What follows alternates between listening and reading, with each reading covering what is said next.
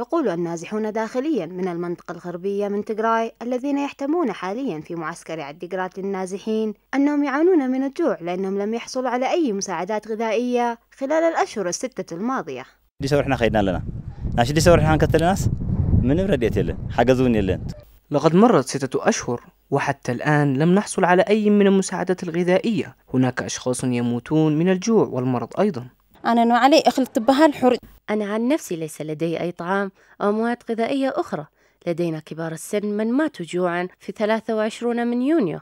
نوزي بتعمي خبيت سجمنينا نحن في مشكلة كبيرة. لا يمكننا مقاومة الجوع. لقد مضى أكثر من ستة أشهر منذ أن حصلنا على المعونة الغذائية. لمن يهمه الأمر يجب أن يرانا ما لم نتلقى معونة غذائية في فترة زمنية قصيرة فسنواجه وضعا أسوأ بكثير. وأضاف النازحون أن المنظمات الإنسانية مثل برنامج الأغذية العالمي والوكالة الأمريكية للتنمية الدولية في الوقت الحالي في تجراي لا ينبغي أن توقف المساعدات الغذائية ودعوا إلى الاستئناف السريع للمساعدات المعلقة. ولنوزي لا ينبغي أن يموت الناس من الجوع لمجرد الشك في السرقة. يمكن إجراء التحقيقات وتقديم المعونة الغذائية للمحتاجين جنبا إلى جنب.